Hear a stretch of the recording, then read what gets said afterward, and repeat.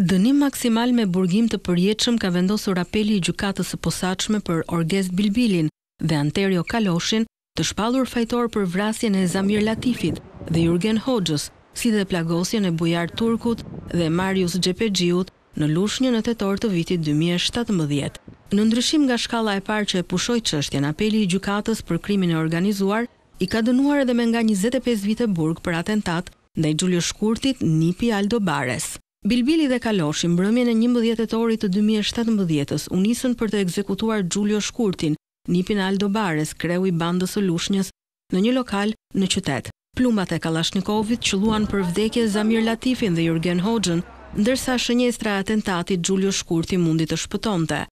Veç akuzës për vrasje, në rrethana cilësuese të një ose më shumë personave, Bilbili dhe Kaloshi akuzohen për kryerjen e veprave penale në kuadër të grupit kriminal, mbajtja pa leje dhe prodhimi i armëve, armëve shpërthyese dhe i municionit, si dhe prishja e qetësisë publike. Anterio Kaloshi u arrestua më trembëdhjetë gusht dy mijë e njëzet, pasi bashkë me disa persona të tjerë kishin qëlluar me armë zjarri në drejtim të Hotel Volorekës në Pogradec, ndërsa ishte shpallur në kërkim për masakrën e Lushnjës. Ndërkohë Orgest Bilbili u kap në dhjetë prill dy mijë e njëzet në zonën e Xhamllikut në Tiranë. Ai u plagos nga një punonjës policie pasi nuk iu bind urdhrit për të ndaluar. Për masakrën e Lushnjës në kërkim është Delaert Haxhiu, i cili vijon të jetë në arrati.